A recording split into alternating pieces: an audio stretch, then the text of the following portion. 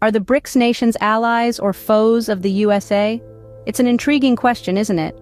The world's political landscape is a complex tapestry, interwoven with alliances, rivalries, and power plays. As we delve into this question, it's essential to remember that the relationships between countries are not just black and white.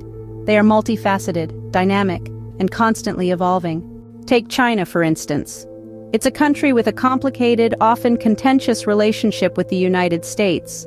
Trade wars, human rights issues, and territorial disputes have frequently put them at odds. However, it's worth noting that they are also each other's largest trading partners, suggesting a complex interdependence. Then there's Russia. Its antagonistic relationship with the United States is well documented, with conflicts ranging from cyber warfare to geopolitical disagreements. However, they also share common interests in areas like nuclear disarmament and space exploration, indicating areas of potential cooperation.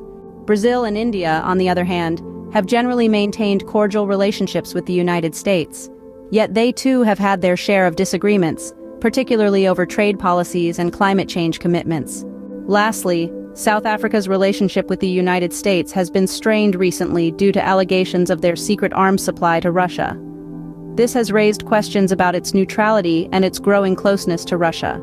In essence, the BRICS nations' relationship with the United States is a mixed bag, teetering between cooperation and competition. It's akin to walking a tightrope, where each nation tries to balance its national interests with the need for international cooperation and diplomacy. In summary, whether the BRICS nations are allies or foes of the USA is not a straightforward answer.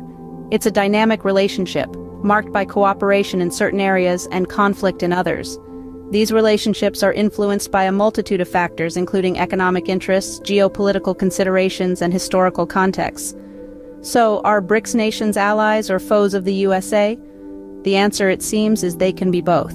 It's a complex dance of diplomacy, where nations navigate the delicate balance between self-interest and global cooperation. As the world continues to evolve, so too will these relationships, shaping the course of global politics in the process.